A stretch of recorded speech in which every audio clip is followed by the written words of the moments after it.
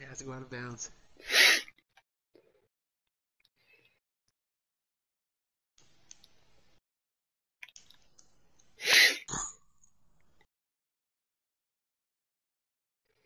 It's only a 13 point game. Damn.